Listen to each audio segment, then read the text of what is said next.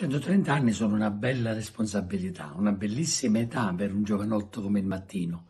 Tanti auguri. Il mattino, un quotidiano importante, che è stato molto importante nella mia vita. Ricordo che era il quotidiano eh, preferito di mio nonno, aveva sempre una copia con sé ed è stato il quotidiano che mi ha accompagnato durante tutti gli anni di università e che mi accompagna ancora nella mia vita giornaliera. Augurissimi. Tantissimi auguri al mattino. Vi auguro che possiate continuare a raccontare per altri 130 anni, ma anche molti, molti di più, le sfide degli scienziati nostrani, come avete fatto finora. Tantissimi auguri. Al quotidiano Il Mattino, il più importante giornale del mezzogiorno.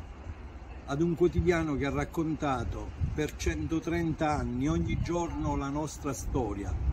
Miei auguri al mattino eh, per questo anniversario a tutte le donne e gli uomini che ci lavorano, che ci hanno lavorato e mi sia consentito citarne uno in particolare, Giancarlo Siani, che ha fatto tanto per il nostro territorio. Auguri a tutti. Auguri di buon compleanno al mattino, un giornale che la storia la fa e la racconta.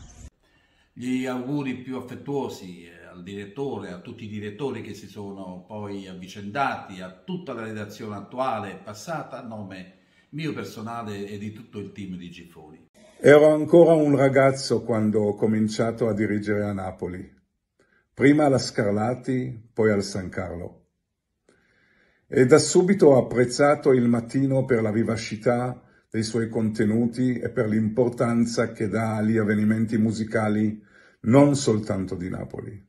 Il mattino mi appartiene fin dalla prima infanzia, fin da quando mio nonno me lo mandò a comprare, ricordo la prima volta, ed io sbagliando andai al bar anziché all'edicola perché pensavo intendesse il mottino con il caffè latte.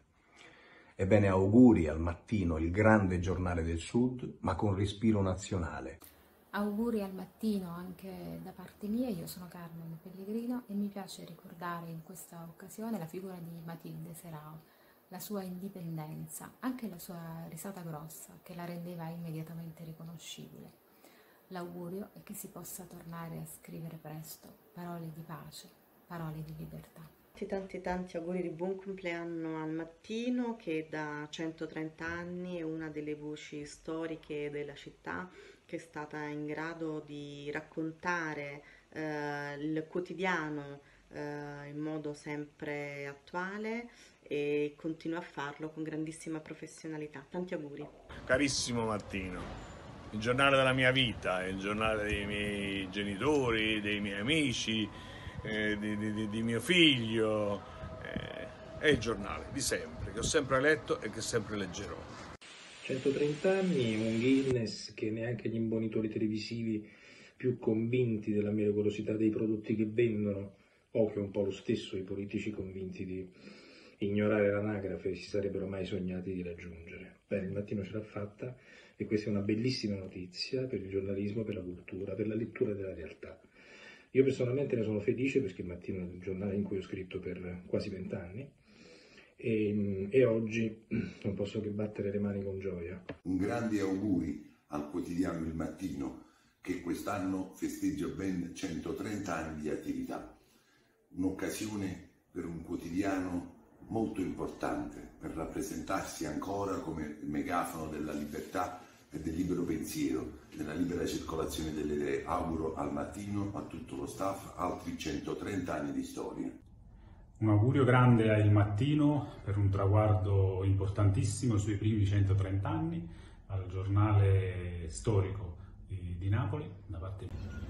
Auguri, auguri a una delle voci che hanno rappresentato l'opinione pubblica di questo Paese da ben 130 anni. Il mattino è un elemento di sicurezza, un elemento che dà a noi e alla città una condizione di informazione seria, concreta, quotidiana, professionalmente molto valida e quindi è un'eccellenza del meridione.